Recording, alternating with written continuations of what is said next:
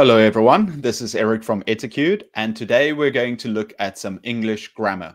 We're going to look at have and has, I have or I've got. You can use either one, I have, I've got, or if it's singular, then you can say he has or he's got. So if it's I or plural, I, you, we, they, we say I have, um, they have, we have, you have, or you can say you've got, they've got. If it's singular, you're going to say she has, he has, the boy has, the dog has, or you can say she's got, he's got, the dog's got. So you can say have or has. I've got, he has, he's got. I have, we have, you have, or I have got, I've got, we've got, you've got, they've got. So you can use the contraction to make it sound more natural. For example, I've got blue eyes, or you can say, I have blue eyes. Tim has got two sisters, or Tim has two sisters. Our car has got four doors. Diane isn't feeling very well. She's got a headache. She's got, she has got. They like animals. They've got a horse, three dogs, and six cats. And then if you create the negatives,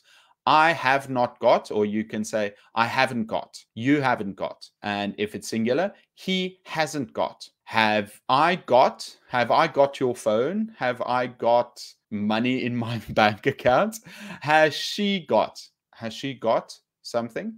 Yes, I have. No, I haven't. Yes, we have. No, we haven't. Yes, he has. No, she hasn't. I've got a motorbike, but I haven't got a car. Mr. and Mrs. Harris haven't got any children. It's a nice house, but it hasn't got a garden. Have you got a camera? No, I haven't. What have you got in your bag? Nothing. It's empty. Has Anne got a car? Yes, she has. What kind of car has she got? Uh, another way you can say it is what kind of car does she have? That's a different way to say it. I don't have, do you have? In negatives and questions, you can also use do or does. They don't have any children. They haven't got any children. It's a nice house, but it doesn't have a garden. It hasn't got a garden. I feel like this is the more natural way to say it. Does Anne have a car? Has Anne got a car? How much money do you have? How much money have you got? I feel like, yeah, this is the more natural way to say it usually. Here we've got some exercises. Let's do them together. We have got, we've got. He has got, he's got. They have got, they've got. She has not got, she hasn't got. It has got, it has, it's got. I have not got,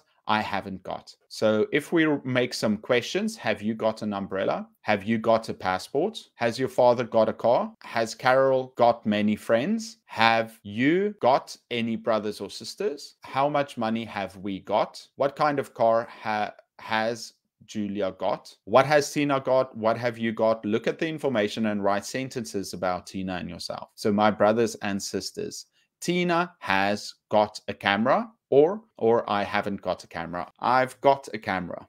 Tina hasn't got a bicycle. I also haven't got a bicycle. Tina has got long hair. I haven't got long hair. I don't have long hair. It just sounds so much more natural. Tina has got brothers and sisters. I have got brothers. Put in have got, I've got, or has got, or haven't got, hasn't got. Sarah hasn't got a car. She goes everywhere by bicycle. They like animals. They've got three dogs and two cats. Charles isn't happy. He's got a lot of problems. They don't read much. They haven't got many books.